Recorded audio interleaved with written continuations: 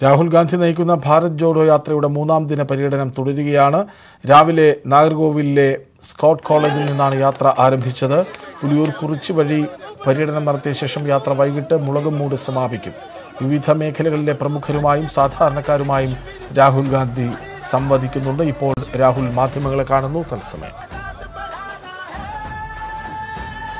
अरे हाथ नीचे करो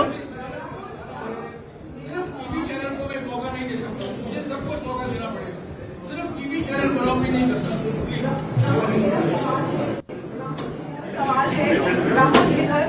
मेरा सवाल है कि आप लगातार कहते रहते हैं, आपने लगातार ये बात कहा है कि आप मज़बूत करना चाहते हैं देश को और करना चाहते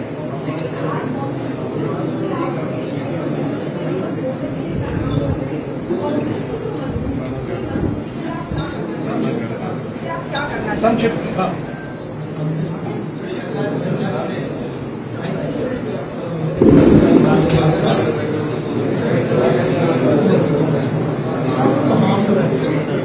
don't think it is going to harm the Congress party.